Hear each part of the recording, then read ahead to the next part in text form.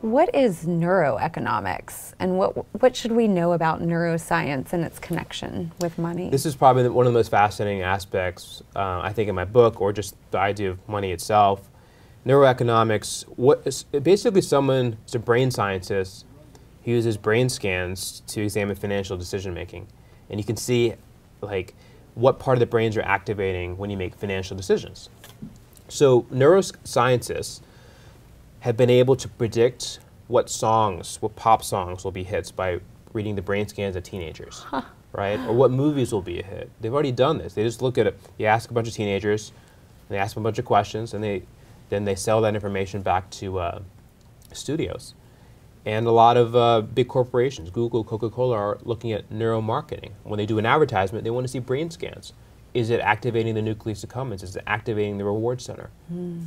So I think the day was, will come when um, neuroeconomists are basically making predictions of the marketplace. And so, you know, we're already making predictions of the marketplace. Every day there's economists saying the market's going to be up or down. Based on what?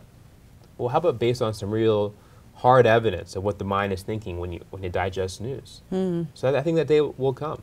That could change everything. Yes, exactly.